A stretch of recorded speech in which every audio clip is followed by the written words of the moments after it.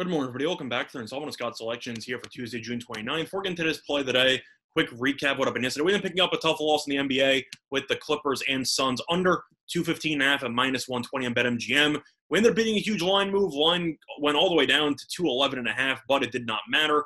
Couple of questionable flagrant fouls led to four free points. Game ended up landing 218. You do the math there, so that's kind of unfortunate. But didn't didn't help that Zubac also got ruled down in the middle of the afternoon because that incentivized the Clippers to go smaller. And with them going smaller, they played a lot faster, which definitely was not anticipated going into the game. But either way, we'll look for a bounce back winner here on Tuesday. And for the play that are going to be sticking with basketball, it's going to be on the matchup between the Bucks and the Hawks in Game Four of the Eastern Conference Finals, taking place at around 8:30 p.m. Eastern Time. And for the play, are going to be looking at a team total, and we like the Hawks team total under 106 and a half at minus 110 on Fox Bet. Time recording of 2 a.m. Eastern Time. Couple reasons why I like the team total under here for the Hawks. First of all, looking at Atlanta in this series offensively, they've not been great. You looked at the Hawks and they scored 116 in game one, but a large reason for that was the fact that Trae Young scored 48 points. Since game one, though, Atlanta's offense has been an absolute mess. Scored 91 points in game two and scored 102 in game three. So the offense seems to have really hit a wall against this elite Milwaukee defense. And now Atlanta's offense should have even more problems because their star player, Trae Young, the man who did score 48 points in game one, now has a bone bruise in his foot and is currently being listed questionable for this matchup. Now, do I think Young is going to play? Yes. I think he's going to play well? No, especially for a guy who loves to have the ball in his hand and use a lot of, I don't want to, of, I'd say, intense dribble moves in order to create separation. I have a hard time believing he'll be able to do so because if you watched him in the fourth quarter of game three, he was a complete decoy. He was standing pretty much in the same spot running baseline. He did a one three pointer uh, on a kick out, but for the most part, Atlanta had to run offense without him being the primary ball handler, and Atlanta, as a result, only scored 17 points in the fourth quarter.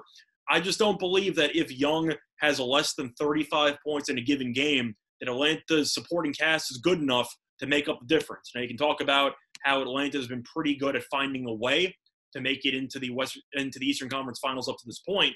But you look at the supporting cast here, and you have John Collins, Gallinari, Bogdanovich, Huerter. My question for all of you is who's the second best offensive player on Atlanta? Because if Trae Young, let's just say with basically 50% health, because he really didn't look great uh, in game four, and I don't even know in game three, and I don't even know if he should have been out there. But let's just say Young gives you, let's be generous, 25 points. Let's say he gives you 25 points on one leg. Pretty admirable performance. My question for you who else is going to step up? Now, Gallinari ended up stepping up in game three. Collins got into foul trouble. Capela got benched in the fourth quarter. Bogdanovich has been injured. He hasn't really been the same since he injured his foot in the Philly series. Huerter's been pretty good, but can you run an offense through Huerter? No.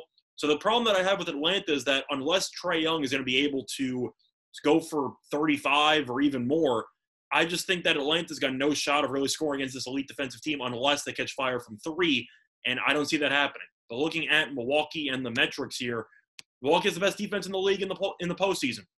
Milwaukee ranks number one in defense efficiency this postseason, while Atlanta, even though it is in the Final Four, ranks 12th out of 16 teams in offense efficiency. So Atlanta's offense has really not been that great based on the metrics. And with Young being well below 100%, I think you should see a lot of struggles for Atlanta's offense. And I do think that you might see a little bit more Lou Williams. Maybe you'll see a couple of creative lineups. Maybe they'll go a little bit small.